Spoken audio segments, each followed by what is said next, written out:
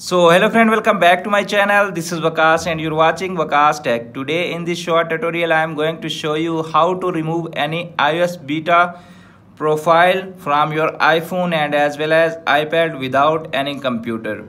In this video I am going to show you how you can do that without any issue. So without wasting any time let's start the video. As you can see my iPhone update showing here iOS 15.5 developer beta 2 so how to remove that? How to downgrade that without any computer? Just close that. You can see appears on screen. Now you can see appears on screen close all tabs and open your iphone setting app. You can see showing setting app. Just tap on it.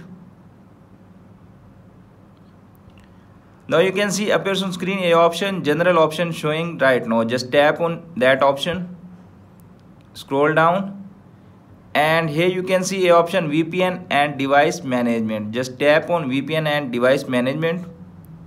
As you can see iOS 15 beta software profile showing here right now. Just tap on beta profile software.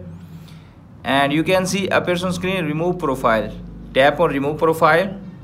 Enter phone passcode. Now you can see appears on screen remove. Option showing just tap on remove tap on not now now close that tab and open your iphone setting again.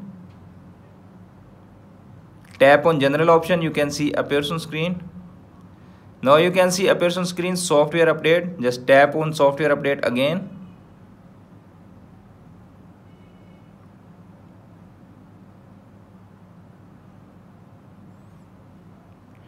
Wait for a moment you can see appears on screen it's checking for update